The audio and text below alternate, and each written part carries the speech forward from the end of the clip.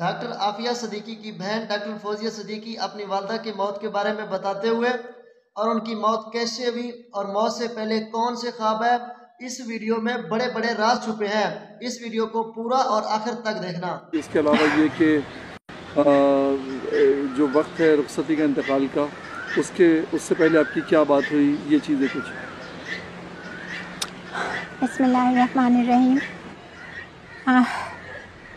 हमारे लिए तो ये एक ऐसा दिन है कि मेरे पास अल्फाज नहीं, आज के दिन को डिस्क्राइब करने के लिए। सुबह फजर की नमाज़ पढ़ी, अम्मी ने ज़्यादा बात नहीं की। कही थी मुझे अंदर से कुछ वो हो रहा है, मेरा हाथ पकड़े हुए थी, मैंने कहा, अम्मी, में, आप लेट जाएँ, कुछ खा लें। तो बोली, मेरा आज दिल नहीं चाह रहा खाने को, मैंने अभी कुल्ली की है, अच्छी तरह से साफ़ किया है, अभी मैं, मुझे कुछ नहीं दो। आमतौर पे वो खजूर और ये सब लेती थी ना। आज कह रही थी मुझे नहीं दो मुँह ख़राब हो मैंने कहा अम्मी मैं आपको कुल्ली करा दूँगी। बोली नहीं अभी मुझे लेट जाने दो। तो आमतौर पे उनका रूटीन ये था कि फजर के बाद वो लेट जाती थी दस ग्यारह बजे उठती थी क्योंकि तहजद से उठी होती। तो आम, मैं करके मैं हॉस्पिटल गई हूँ। तो बच्चे बच्चों को मैंने कहा अम्मी के पास ही रहना नीचे आ जाओ मैं जा रही हूँ। तो ये सब थे। अब यूजुअली दस बजे, ग्यारह बजे तक तो कोई डिस्टर्ब करता ही नहीं था। फिर जब साढ़े ग्यारह हुए, बारह तो मेरे बेटे ने कहा, ये उठी क्यों नहीं? अभी तक मैं चेक करूँ। और हालाँकि बैठा हुआ अंदर ही था, छोटा वाला। छोटा वाला तो अंदर ही साथ वहीं आके लेट गया था। अम्मी के पास एसी चला के रखते थे तो। तो वहीं लेट, उसने कहा, ना कोई हिचकी ली है, ना कोई तड़पी है, ना कुछ। बिल्कुल वैसे ही उसी पोजीशन में, करवट में। वो लेटी हुई थी बिल्कुल। एंड uh, उन्होंने बेटे ने देखा तो फ़ौरन एंबुलेंस कॉल की कि हिल नहीं रहे इन लोगों को वो मुझे कॉल किया। मैं सब बिल्कुल यूँ मैं नुस्खा लिख रही थी वो यूँ भी छोड़ के ना और मैं आई और मैंने देखा वो तो तो मतलब मे भी जिस वक्त उन्होंने मुझसे कहा था लेटाओ उसी के थोड़ी देर बाद आई डोंट नो उन्नीस साल का सफ़र है। जी। डॉक्टर आफिया की वापसी की स्ट्रगल जो है जी। ये एक उन्नीस साल का सफ़र है। क्या कहती थी जिस तरह की हालात थे, सियासी शख्सियात से भी आपकी मुलाकात रही। वालदा मोहतरमा का क्या कहना था? देखिए, अम्मी के अभी हाल में काफ़ी तबीयत ख़राब हुई थी, जिस वक्त डॉक्टर्स ने भी जवाब दे दिया। तो ये एक मुआवजा था जो इतने दिन शायद हमें मिले। शायद हमें एक मौका मिला था कि हम अपनी जन्नत, एक वन वे टिकट टू जन्नत मिला था। जो पता नहीं हमने लिया या खो बैठे या क्या किया।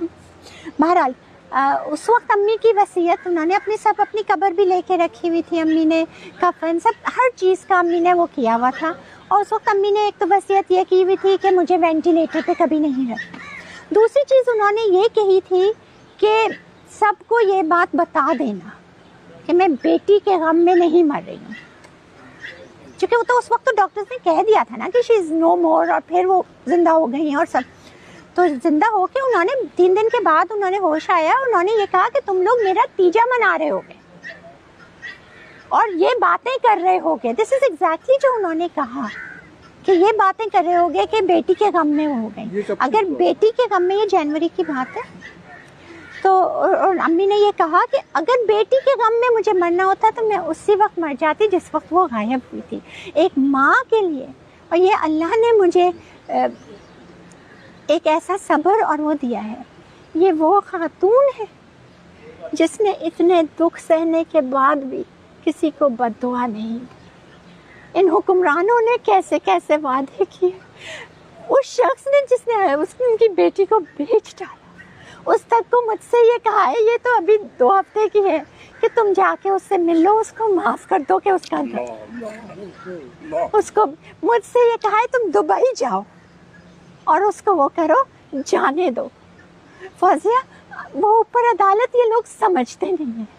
मुझसे कहती थी, देखो, मुझे जाने देना आराम से। शायद इसीलिए उन्होंने मुझे ज़बरदस्ती हॉस्पिटल भेजा। कहती थी कि सच शुक्र के आ पहुँचा, लबे गौर जनाजा। लो बहरे मोहब्बत का किनारा नज़र आए। दिन मैं तुम्हें बता रही हूँ, मेरा इधर दम निकलेगा, उधर आका सल्लल्लाहु अलैहि वसल्लम खड़े होंगे। ये गम, ऐसा गम नहीं है। ये वो गम है जो हज़रत याकूब सलाम ने उठाया था, बेटे का गम। कह रही थी, अफसोस, और वो अपनी जगह है, लेकिन अल्लाह ने मुझे ज़िंदा रखा है। शायद इसलिए कि ये हुक्मरान और सबको अल्लाह ताला ने तबाह नहीं करना। शायद इस मुल्क को तबाह नहीं करना, अल्लाह ताला ने। शायद इस मुल्क को तबाह नहीं करना। कि मेरे दिल से कहीं कोई आ ना निकले। मैं अल्लाह से कहती हूँ कि वो साल से पहले मुझे उठा ले। इमरान खान के दौर में भी बड़ी स्ट्रगल आपकी रही बहुत कोशिशें आपने की। इमरान खान साहब ने सबसे ज़्यादा मायूस किया इसलिए सबसे ज़्यादा उम्मीद उनसे थी। अम्मी को सबसे ज़्यादा वो फ़ोन करके और कहते थे। तो ये अफसोस की बात है कि जिसको माँ कहा और ये कहा कि हमने आपको माँ कहा है हमने अपनी जन्नत आपके कदमों के नीचे है। आज वो तो जन्नत के सफ़र पे रवा है। इन लोगों का क्या बनेगा? अब इनको माफ़ करने वाला कोई नहीं है। आपकी तरफ़ से जब रब्ता किया जाता था इमरान खान साहब से या उनकी हुकूमत से क्या जवाब मिलता था?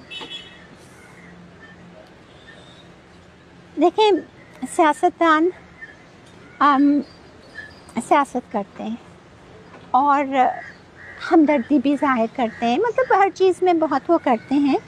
अम, लेकिन इमरान खान साहब का जो रवैया इलेक्शन से पहले था, इलेक्शन के बाद एक यू टर्न था। और सब आपके सामने है, आपने खुद रिपोर्ट किया है, वो क्या कहते थे, क्या नहीं, ये बातें इस वक्त की करने की नहीं है।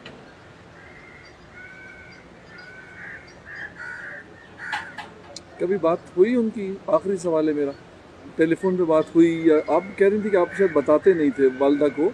जब मेरी आपसे पहले मुलाकात हुई थी। जी, जो सबसे ज़्यादा अफसोस की बात है ना, वो ये कि आफिया पैगाम भेजती काउंसिल जनरल के थ्रू। वो हर बार ये कह देते और इन्होंने जो सबसे ज़्यादा दुख मेरे ख्याल से अम्मी को दिया है ना, वो फॉरेन ऑफ़िस ने दिया है। ये कह के आफिया आपसे बात नहीं करना चाहती, जबकि इनके पास लेटर्स मौजूद हैं जो आफिया ने लिखे अम्मी के नाम, और इन्होंने हमसे शेयर नहीं किए। ये जो ये एक जुल्म ऐसा है ना कि जो और ये फॉरेन हमारे अपने फॉरेन ऑफ़िस का है किसी और का नहीं। देखिए एक तरफ़ कहते हैं कि आफिया आपसे बात नहीं कर, करना चाहती दूसरी तरफ़ कहते हैं वो फ़ोन मिलाती है लगता नहीं है या कहीं और मिल जाता है तो यही तजाद है। देखें बात अगर कोई नहीं करना चाहता तो फ़ोन क्यों लगा रहा है? और फिर तीसरी तरफ़ ये कह रहे हैं कि वो ये समझती है कि आप सब मर गए। और चौथी तरफ़ उनकी उनकी वो है कि उसने मैंने विज़िट किया तो उसने लाइनें लिख के अपनी वालदा के लिए दी कि मेरा ये पैगाम दे दें। हमने कहा, वो हमसे शेयर कर लें। कहते हैं, वो तो सीक्रेट है। वालदा के नाम पैगाम दिया है, उनके पास सीक्रेट तिजोरी में। इस चीज़ का तो पता नहीं, अब अम्मी का चैप्टर क्लोज हो गया है, लेकिन ये गम मैं आपको बता रही हूँ कि कल रात तक भी ये गम लेके गई हैं वो।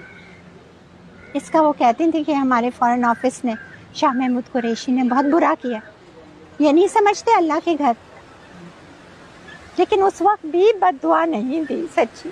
कभी बात हुई डॉक्टर आफिया से वालदा की फ़ोन पे? 2016 में बात हुई थी आखिरी बात हुई थी आफिया ने अपना ख्वाब सुनाया था और ये बताया था कि अम्मी आका तो जहाँ सल्लल्लाहु अलैहि वसल्लम तशरीफ़ लाए थे ख्वाब में और अम्मी मैंने उनसे मुझे माफ़ कर दिया अल्लाह मियाँ मैंने उनसे शिकवा किया कि आखिर मेरा ये इम्तहान कब तक हो? तो आप सल्लल्लाहु अलैहि वसल्लम हंसने लगे, मुस्कुरा दिए और उन्होंने कहा, अरे बेटी, तुम्हारा इम्तहान तो नहीं है ये। तो बोली, मैं इतनी हैरान परेशान, मैं फिर क्यों बंद हूँ? मेरा इम्तहान भी नहीं है तो मैं बंद क्यों हूँ? तो कह रही है कि आप सल्लल्लाहु अलैहि वसल्लम अफसरदा हो गए, उनकी आँख नमदीदा हो गई, फिर वो रोने लग गई थी और उसने कहा कि, उन्होंने कहा कि ये उम्मत का इम्तहान है। ये कौम का इम्तहान है।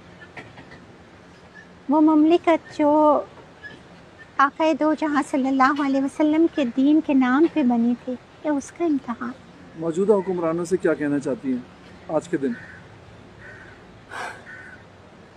क्या आज के दिन मैं क्या कहूँ? मेरी माँ को कोई ला सकता है वापस?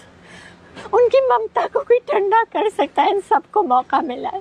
इनके बड़े भाई यहाँ पे आए थे। उन्होंने अम्मी के सर पे हाथ रख के वादा किया था। और उनको मौका भी मिला था मौजूदा हुक्मरानों को भी मौका मिला था। मैं क्या कह सकती हूँ? क्या क्या आफिया की ममता को ठंडा कर सकते उसके बच्चों से मिला सकते हैं, उसको ला सकते हैं। इसको एक एंडिंग तो दीजिए। या क्या उसकी भी राख लाने के लिए इंतज़ार कर रहे हैं?